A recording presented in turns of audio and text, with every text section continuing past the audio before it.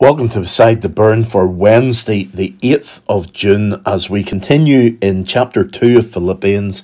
And today we're going to be looking at verses 9 to 24.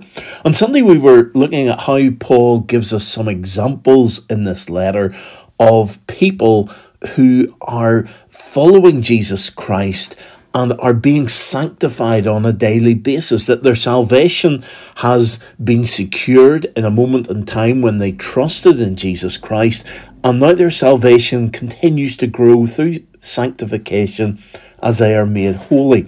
And the example that we're going to be looking at today is that of Timothy. And Paul is uh, citing Timothy as an example of what salvation looks like in an individual who is prepared to live for Jesus Christ and prepared to share the grace and the love of Jesus in their daily lives. So let's read together Philippians 2, uh, verses 19 to 24.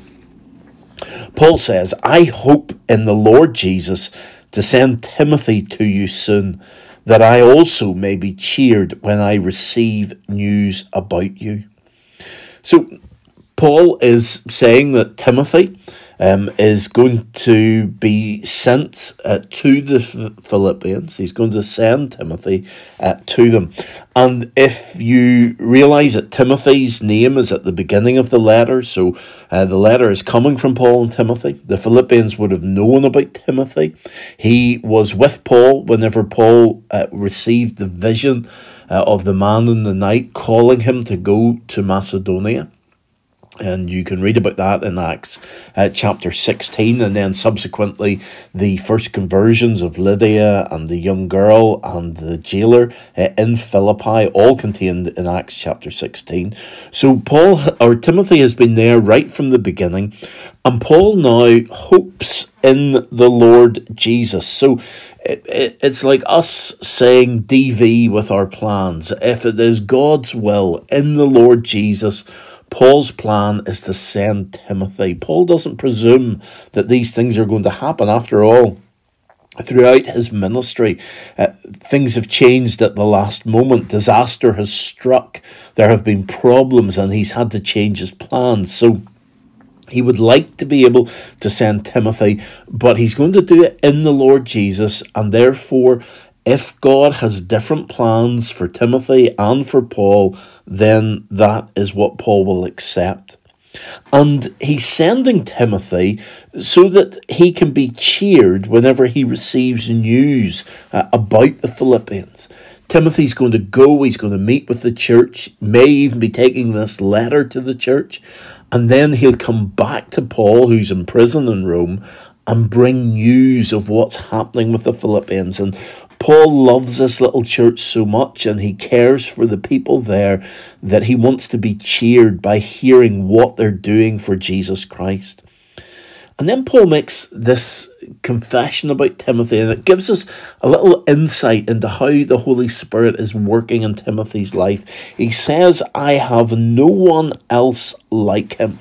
There's Paul in Rome. There's a strong church in Rome. He has many other people around him, but there is no one like Timothy. Timothy has a genuine concern for the welfare of the Philippians. He's not going trying to uh, push himself forward. He's not trying to make himself sound great. He's not carving out a path for himself. Instead, Timothy has a genuine concern for the Philippians, and whenever he comes, he will show care and concern for them.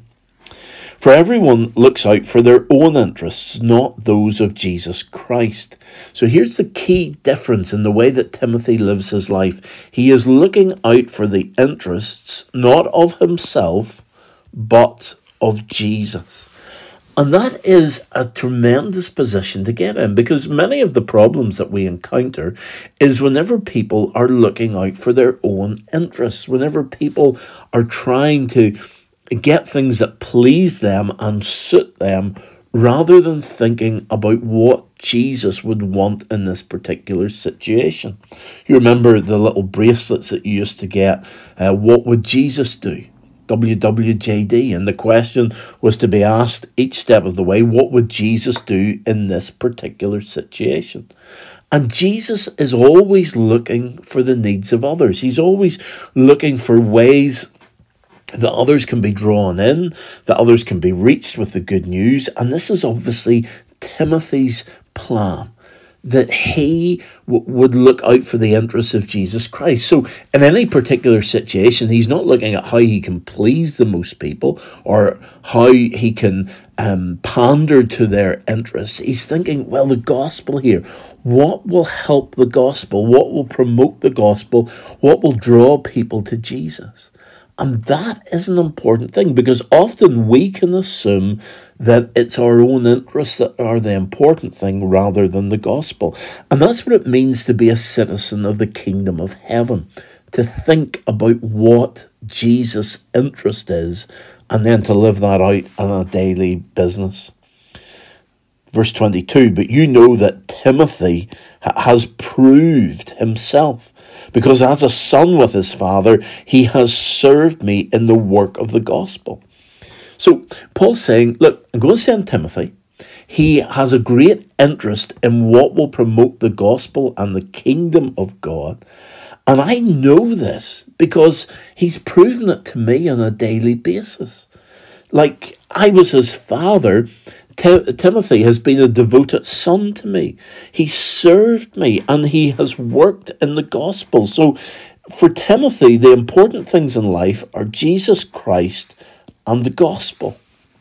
And as long as Timothy has those things at the forefront of his mind, having a mindset, an attitude like Jesus Christ, then everything else fits into place and you know where you stand with Timothy. You can trust him. He's not going to change his mind just to suit himself. He's always thinking of Jesus and the gospel. And Paul says, I hope therefore to send him as soon as I see how things go with me, and I am confident in the Lord that I myself will come soon. So Paul's plan God willing, is to send Timothy. He's going to wait and see how things go with himself, and then he'll send Timothy. But Paul is also confident at this stage that he himself will, will come to the Philippians as well. But it's all being planned in the Lord. It's all right having these great plans, it's all right putting these things in action but it has to be in God's will and God's plan. And how often do we go on ahead and we plan things ourselves and we don't think about is this truly God's will? Is this what God would want for me? And therefore, we need to take Paul's attitude here. In the plans that we make, we look to God and we say, God, is this your will? Is this what you want me to do? There may be something in your life today or this week that you have made great plans for, and somehow it's maybe not working out the way that you had initially thought. Come to God and say, Is this your will, God? Is this what you want? And then be prepared to accept, either if it is God's will or it isn't. Be prepared to accept His decision and then stick by it. So let's come before God in prayer. Heavenly Father, we thank you for friends and for brothers and sisters in Christ who are like Timothy, who don't think of themselves, but instead think of you and your kingdom. And Lord, we praise you for them and we pray that we might be more like Timothy as well.